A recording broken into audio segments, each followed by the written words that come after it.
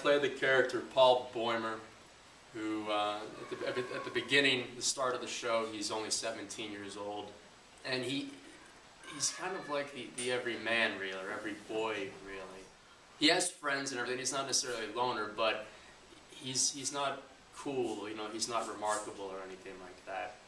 Um, and when he ends up volunteering along with uh, the rest of his schoolmates and uh, goes out into the front, you see throughout the show just um, how his character, I think, struggles to retain a lot of that innocence. He's very much, as, as serving as the narrator to the show too, it's, he's very much serving, I think, as the, the eyes for the audience in a lot of ways.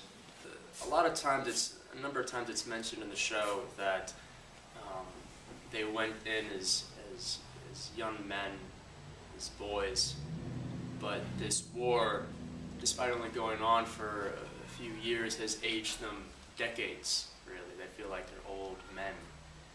And that's very much apparent in some, in some ways, as not just Paul, but the rest of his, of his mates, his soldiers in arms. Um, they, they grow tired.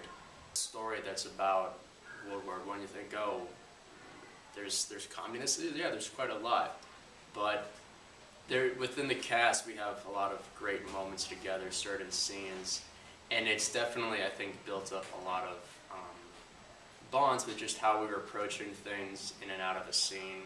That we can snap like that in and out of character.